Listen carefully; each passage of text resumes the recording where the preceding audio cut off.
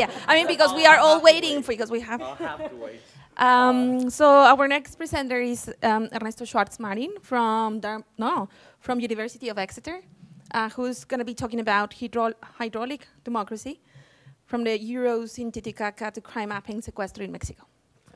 Okay, so you, you should ask, and with, um, oh, so you should ask me why I'm linking an indigenous population that lives in Lake Titicaca with crime mapping secuestro.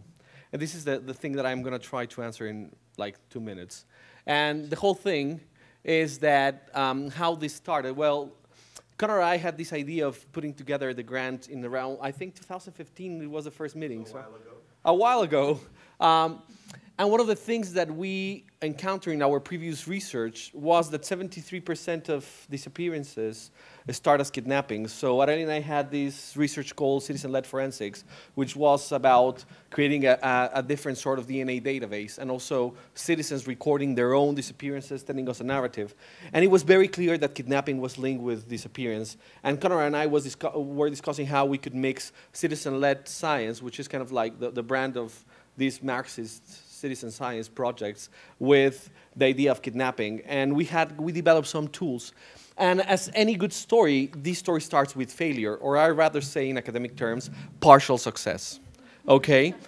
And the failure was that when the project came to an end, we had created this beautiful parliament of national leaders of disappearance, uh, some of which you, you had interviewed or maybe you have seen in the, in the movie of yesterday, which I could recognize two or three there. And the parliament worked as much as we had money and time to devote to making this political community active. But of course, when the funding ended, the parliament shattered and everyone went back to their places and to their local politics, which pretty much you could say that it was obvious that it would happen, but we didn't know. Part of the project was to see if they continued doing that kind of national parliamentary work. And um, very briefly, let me tell you what is the team. Um, so it's, we are funded by the Newton Fund, and leads an Exeter, lead on the kind of the co-investigator thing, and then we have uh, Tecnológico de Monterrey, Laboratorio de Justicia Social or uh, Investigación Social, and MASIA, which are the three local partners that help us develop the whole project, the participatory project. As you know, it's not the same to do ethnography that do participatory action research, which means lots more work, organization, calls, uh, budgets, contracts. We have been dealing with lots of contracts. Um, we, were still dealing with that and payments. So we need a, a, bigger team to make that happen. And fortunately, after a lot of interesting anecdotes, I can tell you, um, we now have one. Um, anyway, so what I'm going to tell you is based roughly, uh, although I'm not going to show you all the data, on 56 interviews. Okay, and um, another four that we made with um, youngsters that are in conflict with the law. That means that they were involved in kidnapping people in, in Mexico City. Um, and we have civil society collectives, activists, victims. Uh, the whole thing is that we didn't want to repeat the same set of interviews and ethnography we had in citizen-led forensics. So all these interviews are actually with people that we, we don't know. Okay, that's, that's something that was key for us because we spent a year working with families of the disappeared, many, many of which actually have great experiences of kidnapping, as you could see with, with Arely, Leti Roy, many of the people that are at the forefront of the fight. So we didn't want to do the usual thing that uh, academics do, that speak with the same people they know and comfortable with. Um, so it was a titanic task, to say the least, to actually do that because it, it brings another layer of difficulty. You, what happens with academics is we tend to speak with the same people. So Osegueda, right? How, how many here we have interviewed in Osegueda? Raise your hand. Okay, beautiful. Yeah, you see, that's exactly what we wanted to avoid. And it was hard. It was a hard job, just to let you know. And, um, and this is based, the, the, the, whole thing that I'm going to tell you today is based in uh, the idea of Peter Sloterdijk, pneumatic de democracy. And this is kind of a joke so Peter Sloterdijk, which is my favorite philosopher, by the way, uh, second to Hannah Arendt only, um, has this idea, this, um, it's an installation, art installation, in which he's sending agoras to places that lack democratic values. And it's kind of a joke about this idea that we can export democracy, or that civil society is never violent, or that society has some kind of like key patterns and features. Uh, anyway, the whole idea of the, of the nomadic parliament gave me the idea to think about why, why are we producing our political organization around parliaments? My own experience with parliaments are really costly to keep. They need a moderator, which in my case was me, and that burnt in my face when I had to leave. And the speaker, we can see that in Brexit. What, how problematic is this? So why do we think about parliaments? This, this, is not something else out there. We talk about this decolonial politics, blah, blah, blah, but we still think of parliaments democracy boring. Not only boring, but not efficient, even for the modern standards. And actually, this is, not the best way to think about how to do participatory action research and even democratic processes in, in countries such as Mexico, where distrust is so deep that even governmental organizations do not share their DNA. Okay, so our project was actually a response to this thing. That is not that Mexico lacks DNA or the technologies, it's that we distrust each other so deeply that we don't want to share that data. Um, anyway, so it, it, starts with failure and still can fail. The other thing I have to tell you that this is just uh, something we're experimenting with right now. Uh, let me explain you why the Uros are our inspiration. The Uros uh, are an indigenous community that lives in floating islands made of reed in Lake Titicaca. So whenever they marry, they come together and they sow their islands to each other and they grow and they, it's like a tourist attraction. And it's a whole ecological governance system. Actually, they were messed up when the state wanted to intervene. But before, before the state wanted to intervene on their liquid territoriality, they managed really well the conflict. Um, I knew I have to, I have to thank my colleague Michael, uh, who was the first that, that told me about this. I didn't know about the Uros until I was like a postgrad, and I, am very ashamed because of that. Uh, but Michael Kent was one that introduced me, and ever since I heard about this, um, I thought like that's, that's a fantastic way of governance. It, it actually reflects kinship rather than these abstract ideas about the state. Okay? So I was fascinated, and, and this is kind of also a way to think through the Uros way of governance. Um, so to make it clear, we hate the definition of kidnapping as exists today for two reasons. One is that it's utterly reflexive. So, privación ilegal de la libertad, which is what you were kind of translating there, I don't know what would be the translation in English, um, is basically anyone can grab you, and that's privación ilegal de la libertad. And kidnapping means something, according if you're a right-wing NGO or a left-wing NGO, you're right-wing, it means someone asked for a ransom someone has to pick up the phone, send a messenger, and tell you to give them money. If not, it's not kidnapping. Actually, the law tells you what are the, the levels of um, different kidnapping, which basically includes everything. Okay? So that's another way in which you could say law is weaponized for the interest of the few. Okay? And these, these few are really interested in making kidnapping as narrow as possible okay? Because then they say the police can work on it. It means that it can only work on elite kidnappings. It means it can only work on extortive kidnappings, and probably that doesn't match at all with the conflict scenario in Mexico. I think we, we, we have a real problem with that. And I'm going to give you some numbers you cannot see as well, so you can enjoy. Um, and basically, this is the, the something I'm just going to skip because we don't have the time. And after kind of bringing the numbers, and there's a huge on the reporting, we, in these interviews, we, we made a typology of what is kidnapping and how it's linked with other crimes.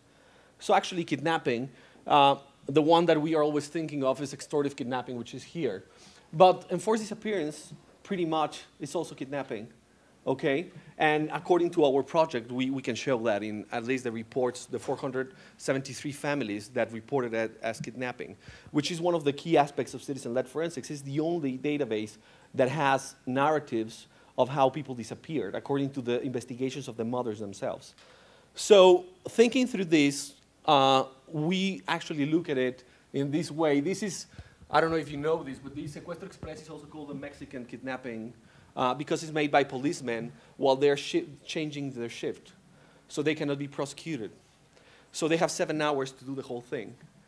And, the, and they always take the, the information of the people they kidnapped so they can keep um, amenazándolos. Okay? So I know where you live. And that's exactly why the express kidnapping is uh, so effective. And it's mainly done by policemen.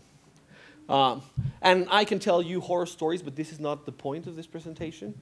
Uh, we have a collection of those, uh, very detailed. Oh, this is beautiful. So um, something went wrong with my PowerPoint. Okay, so just very quickly, so I, wanna, I wanted to show you, these are four technologies we're developing based on these 56 interviews, and I had different quotes that now are something I don't recognize. Uh, but, but yes, the, my, my, my presentation is kidnapped. Uh, but anyway, this basically what we're doing is a comic book that is, going to serve as a manual of what's going on with kidnapping. And the whole story, the narrative is based on the 56 interviews that we have gathered. So it's, it's, a, it's a fictional story based on real kidnapping stories. So people can start developing their own security strategies.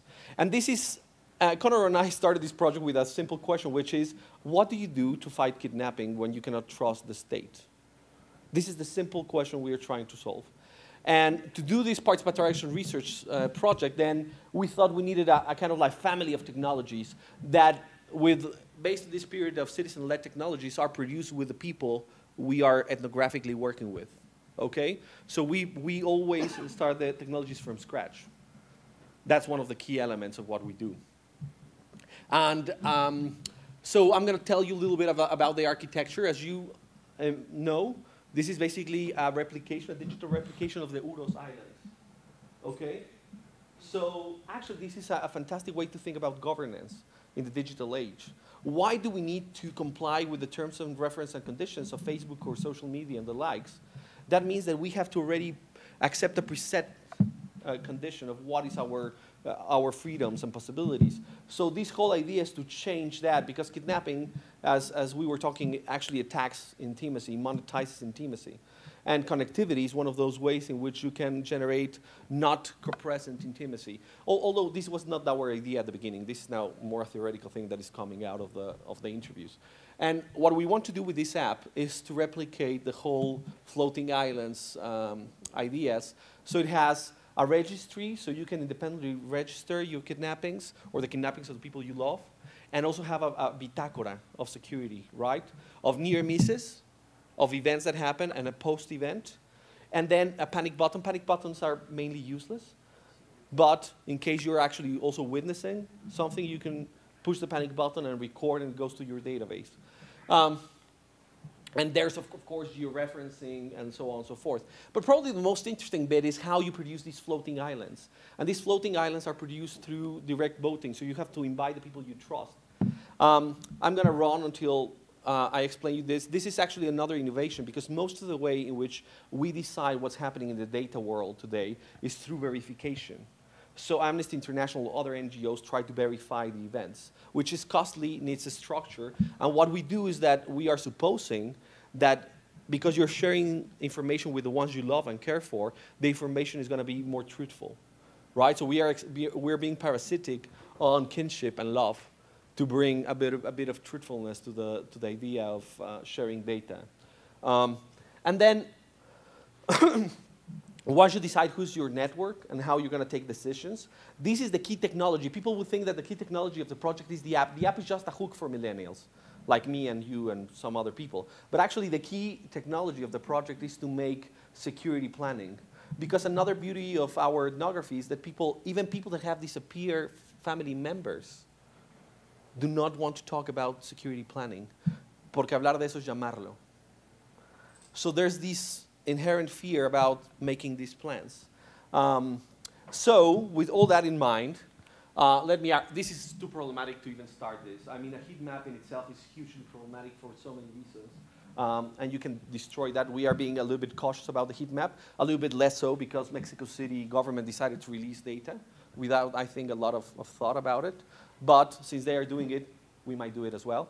Uh, and the key technosocial problems, I think I have covered them already. And what is the argument? And I hope you challenge that. Uh, we think that this governance system better adapts to kidnapping because kidnapping works, and now we, we did the interviews with uh, the junksters that were involved in these kidnapping bands, work as isolated cells. Actually, what people told me, not only junksters, but uh, people that were in, the, in, La, Liga, in La Liga Grande, in La Grande, uh, told me that the, the heads those that te suben a la cruz, so the ones that select you as a target, are never in jail. It's just los bajadores, the people that are committing the crime physically, the material operators. And this is because they, they don't even meet. They have this, this idea of having different cells, which are specialized to do different jobs. Uh, so this is kind of like using the same mobile cellular technologies in the digital world to try to actually make the plans. So it's, the app sounds cool, but the great thing is to have a plan, a security planning with your family or your organization to deal with the different scenarios. Because that's the other thing. The other thing that kidnapping relies on is that you are unprepared. You're going to take the, the easiest decision. And they, can, they actually have been very good in doing that so far. And they are trained to do that. So the youngsters are trained by making extortion calls. And, and depending on how the, their master responds to that, they can go and pick people in the street. Um, so basically, that was it. I hope I was on time. I'm not in time? No, no, no, no, no. Okay, sorry for being rushing. It was a little bit longer. It was supposed to be a little bit longer. Thank you. Thank you, Ernesto, for um, that um, uh, nice presentation. Interesting. So uh, now the floor is open for questions. And we have like uh, a good, yeah, minutes to discuss. Like three minutes. No, no, no, no, no. There's plenty of time. Thank you to both presenters to keep on time for keeping on time. Um, I want to know if you know about the case of this network. Actually, I was with the closed uh, because it, it, it is very known that some family that happen the kidnapping use another groups to do to resolve the situation, and actually there are more violence these groups to rescue the the people that who was kidnapping, and I don't know if these apps contribute to make more stronger that network of parallel structure by law. I don't know what you say about that. Eh, eh, ah, ¿Y me di a entender para empezar?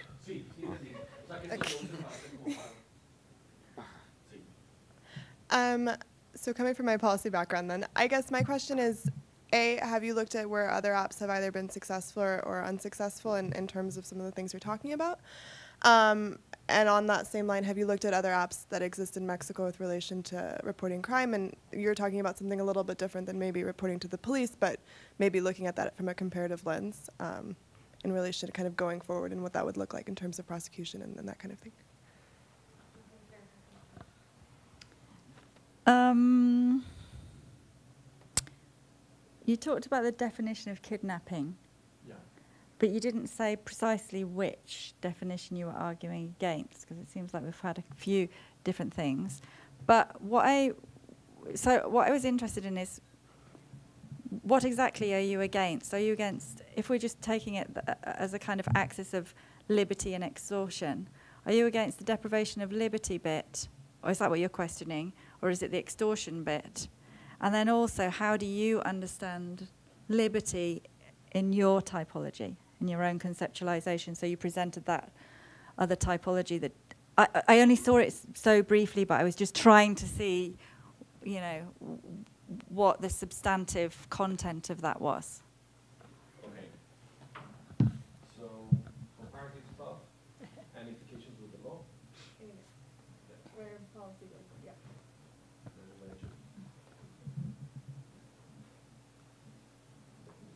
Thank you, Ernesto. Uh, we talk about this in Tijuana with Camilo and, and Connor on the on the app, and I find it inter interesting. Um, in many projects, we can see that they're working towards an app, but being a resident, I'm talking right now like a resident, I would never use it, and it's not because um, I would not trust it, but because it's not easy for me to uncode, for example, the cell phone, my broken cell phone, you know. So it's easier for me to WhatsApp. And actually, um, I have never, never, ever, when I go into very complicated scenarios in Tijuana, I have never, ever communicated this to my parents because I know they will be upset. Although there's trust, I have never, ever, and I will never, ever tell this. It's been actually, Alejandra was actually in London And I told her like two days or one day at least earlier, hey, I'm going this way. Can you keep your heads up for me? You know, I'll be there an hour. This is the GPS location. I will be this person. This is my, my car um, um, data. And it's been basically London and Mexico City. And the point would be okay, we have the app. Let's say I, I download it, let's say, and I use it. What's next? Okay, I'm kidnapped. I push the red button, and then what happens? Who communicates with my family, and how I get rescued? That's, that's the main topic, you know? Okay. Can I just respond to, to that to that point? Uh, one of the things with the app that we've talked about is the app has value for being the app and creating records of what's happened, but it also has value in getting people to think about their planning and peer-to-peer security planning, and be, and being a trigger for that. That's a real thing. And that I think you said that, and you said it was a prop or something in the presentation. It's very important to remember that because there's lots of panic button apps out there, and we initially were going to work with a specific one developed by Amnesty International. But yeah, for many reasons, people may not do that. But sitting down, testing it, and trying to work through what you're going to do if that situation does occur, then gives you something that you may not have done before. And, and so the app has value in itself. Maybe you have a more accurate picture of what kidnapping looks like. But if it, if it means that some people have some sort of plan and have some sort of enhanced awareness, that, that is value in itself. So it's kind of an anticipatory technology. So maybe it's the anticipatory part that you could focus on more. It's kind of ri- a risk management tool, uh, in a sense. You always see the data that, your, that the people you choose to engage with. Yes. share with, But- uh, But, I mean, so the comment I was going to make is that that can be exactly a tool to use against you, right? Your social media network becomes the list of people that they're going to threaten next. And so one thing to think about in your app is, is ways of making sure that it doesn't become, you know, if I, hey, I've got your phone, I've got you, let's talk about who's on your list. Because that's exactly what kidnappers in Tijuana were doing uh, in order to, to uh, sort of uh, verify. So the technology is a double-edged sword uh, point. The, the other, um, uh, w- one other point, or uh, two, two quick points for um, Georgina. One is, it was obviously very hard to see your, the, the one table that was the most interesting to see what types of crimes are most proximate to the geolocation of the subways. Um, but what was what I really love to see you explore a little bit is it seems like women were less likely than men to be uh, to, to suffer from any kind of crime than men near the subway. But the closer the women were to the subway, er, w- women were more likely to be um, accosted by whatever type of crime closer to the subway than men. Uh, I, I thought I saw some kind of variance there uh, that would be worth looking at um, with a microscope or whatever you need to see that, because um, with better eyes than my old eyes, uh, it would it- because it may be that women uh, are you know are approached within the first hundred feet. First 200 feet, much more, uh, they're much more likely to be approached sooner after leaving the subway um, or uh, uh, assaulted sooner, closer to the subway, which has implications for policy recommendations that, uh, in terms of where you station um, security personnel, et cetera. The second uh, point for you is just, uh, you know, across the board, women are much less likely to be victimized by by certain types of crime. In fact, most types of crime than men. And so, uh, but but when women are victimized by certain types of crime or or crime in general, the reaction is much, I think, stronger from society precisely because it's unexpected or it, it is socially undesirable. And so I think that's an important, um, and, and, you know, men are eight times more likely to be murdered in Mexico. Um, but when you see a slight increase in the number of women being murdered, it becomes a major concern. And we have special categories, legal categories for femicidios. And, and that's, that's probably a good thing because it, it's, it's pointing to a very um, socially sensitive uh, area. So just two comments. I have a question for Georgina as well. I was very struck by the one slide that had the survey question on um, do you worry about being kidnapped or do you fear being kidnapped? I mean, your rates were about 50% for men and women, both in Mexico City and in Mexico, maybe a little bit lower across Mexico. That's really, really high. Um, it, so it's interesting just as a fact, you know, that people are living with that much fear of being kidnapped on its own is fascinating. But then I'm wondering who's not afraid of being kidnapped? Are there other, because there wasn't a significant gender difference, are there other variables that would explain why some people are afraid and others aren't?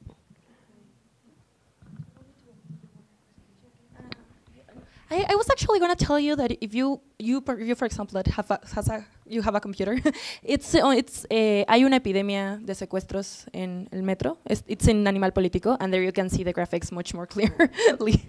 yeah, that would have been a better idea to say before. If you want, yeah, if you want to answer the questions. Okay, okay. Uh, first, I would say uh, with you, uh, I have a bit of, of a problem with that question because it's actually about kidnapping and extortion. I don't know if you see it. And I, I, I just really hate that because it doesn't allow you to see. Yeah, so maybe that's that's one of the reasons I, I'm thinking. Because extortion is much more common, I think. So. Were you surprised the number was that high? Uh, yeah, I, I was a bit, but I don't, I don't know, not that much, to be honest. I don't know. I, I when, when we saw it, I didn't even. After this, attending this workshop, I'm not surprised. but at the same time, before that, I wasn't. Yeah, a probably that is. Yes, yes, yes, yes. So yeah, I think I think that's a that's the thing. That's a part. Um, and about the women thing, I mean, we do in, in Data Civica we do a lot of work uh, publishing things about feminicides and violence against women. Uh, I do think that what happens is that when we talk about crime, usually we talk about men because men are much more victimized than women. So when we like talk broadly about murder, uh, we're usually talking about murders against men, you know, and that is why I think it's so necessary to talk about the violence against women because we know that there are significant patterns and they're different. I mean, women are more, more much are killed in their households more much much more than men, uh, killed by their relatives much more than men, and I think that it has a lot to do with that, with the fact that we do need to talk about violence against women, although it's less because it's different. So yeah, I think it has a lot to do with that, and ah, thank you, thank you. Uh, oh. I think you cannot see it either. yeah, but I was thinking like I was saying your computer perhaps. Uh huh. Yes. There you go. Yeah, you can, you can zoom it. Uh huh. Oh. So you have uh huh. Uh, burglary to a passenger, kidnapping, deprivation of liberty. Kept going up, right? What's the? So the total number, right? So sometimes when you see percentages, it's hard to gauge without knowing. Uh, it depends on. It depends on the on the yeah. It's like a hundred. Uh, it, it was like yeah about that. market data before and after because maybe the epidemic is perceived because it was not 16, it was 4%. Uh huh. Uh, no, that those are like that's the total actually. But then we have like the the graphic, the monthly rate. Okay. So you you there could see the spike. Okay. So yeah, but we didn't see before, and I, I don't think we could. Well, I don't know. No, no, no. I, that would be a, a good thing to do to divide like in before and after the geolocations. Yes. Um. Yep. Yeah, but it's uh huh. Well. Yeah. Like extortion or kidnapping, as I was saying. But. Mm, mhm. Yeah. So yes. Yeah, yeah. So regarding the let's let's use the kidnapping epidemic as a starting point for this. So um, we are here. We're interviewing a group of um, people that spend six to 14 years in jail, um, sharing their cell with kidnappers. Uh, we didn't interview kidnappers or people that were in conflict with the law regarding kidnapping because um, they have the longest uh, jail sentences so they don't get out of jail mostly. So they have a 130 year sentence, and they don't participate in the um, in these activities that are made by this Grupo Segunda Oportunidad, which is um, people that were in jail for so many years and want to avoid that youngsters go to the La, La Liga Grande, to the University of, of Crime, which is the jail. So they are working really hard with these youngsters.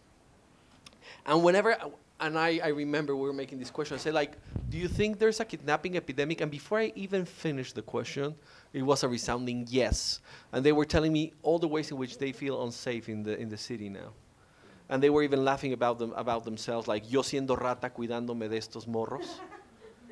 Uh, so, so this this thing about not knowing and about the way in which the, the Mexico City cartels are recruiting in their neighborhoods, and you, you get it when, when you get the, but it was surprising to see that level of um, the feeling of insecurity uh, by all of them, and I think that's pretty much the case when we did the workshops and, and all the other parts in Mexico City. For example, we went with de Monterrey, and at least 14 out of the 34 or 35 students had close experiences with kidnapping. Their dad, their cousin, their neighbor. One of them was almost kidnapped by in a bus station. So, and, and this was the first time he was speaking about it in public. So he was shaking. Um, it was it was really intense to do this type of thing just in Mexico City. I cannot imagine what would be to do it in Tamaulipas, for instance, where the narco government is actually working there and they know. And, and anyway, but apart from all that, let me tell you the things about the app. And I know the, that's exactly what I love about the app. We discuss about it, right? And this, this technology allows us to think through its pitfalls. And tha- exactly that, that was happening, that's what we should do in the groups. The other thing is the group is not the family, it can be your friends. The only condition is that whatever you share with a group, you share with everyone, okay? And so you can have a group of your family, a group of your friends, a group of your work. It's not the same group, you have to make a different user each time. And the other thing is, it's always a double-edged sword. There's no such thing as a technology that is, I mean, you know what happened with Facebook and, and Twitter, right?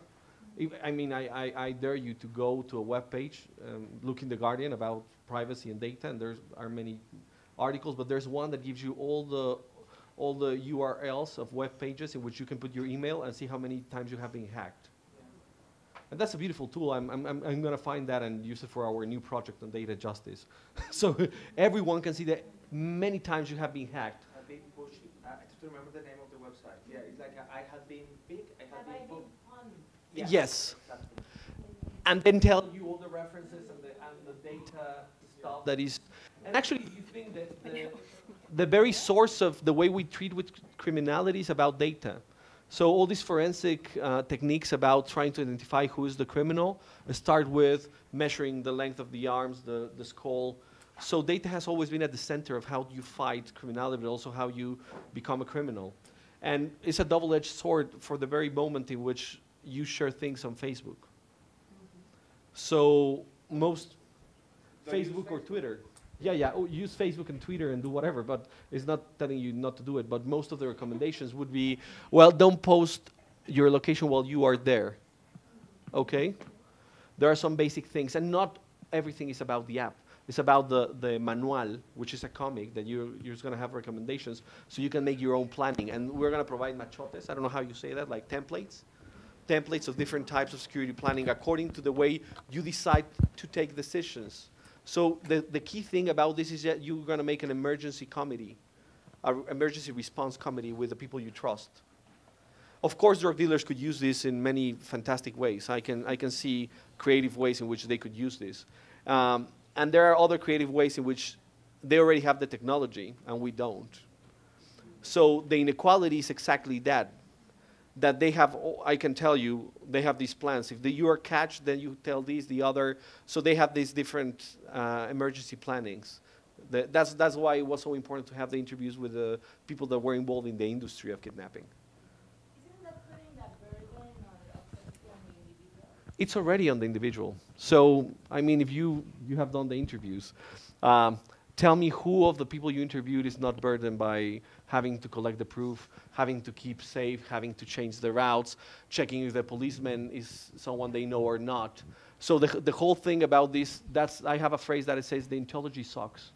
And especially sucks in Mexico because the deontological principles on which we think about individuality and freedoms do not apply in a place in which you cannot trust the authorities. And then you're always bur- burdened. The thing is, you don't have the tools to do anything about it. You have to go and beg the police for mercy, beg the state for evidence, And then you have a double burden, a system big revictimización, then it's even bigger. It's not that you're not living it every day. Even as a Mexican that has not lived any of these major human rights abuses, you live this sense of insecurity constantly. We have another question for Claire, from Claire, and I think that's going to be the last one. Yeah. So we can wrap up this. About the law, I didn't answer that. No, uh, yes, so the, what, sorry, about the definition.